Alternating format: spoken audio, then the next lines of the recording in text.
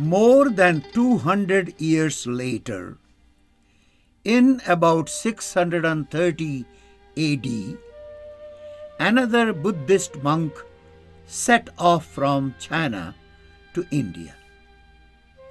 His name was Hueng Tsang. He had to leave China in secret, having been refused a travel permit by the emperor. His local guide abandoned him, and he was forced to cross the desert alone on horseback.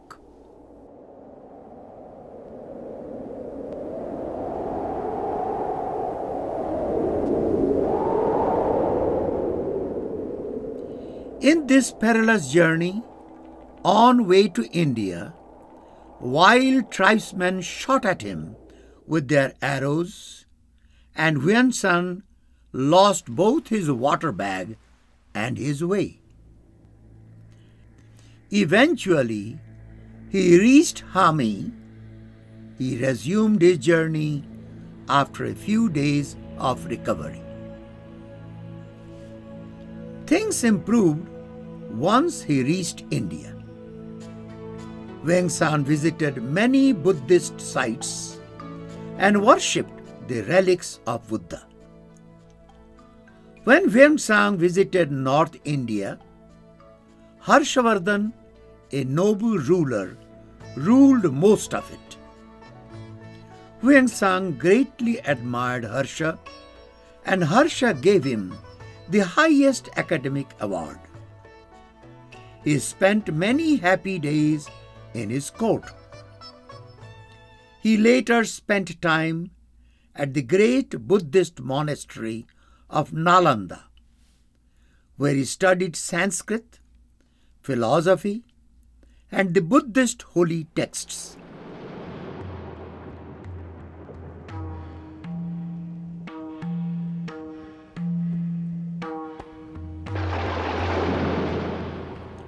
Hueng Tsang found India a less peaceful place than Yan did. He was robbed by bandits twice and almost sacrificed to the goddess Durga by a band of robbers as he sailed down the Ganges River.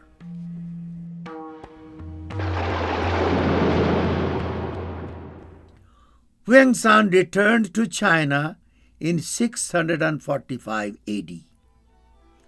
After staying in India for about 15 years. On his way back, he visited the colossal statues of the Buddha in Bamiyan. This has now been destroyed by the Taliban's when they were in power in Afghanistan. The story goes that Hueng Tsang needed 20 horses to carry back all the Buddhist manuscripts and statues he had collected. He spent the rest of his life translating the texts and writings he collected from India.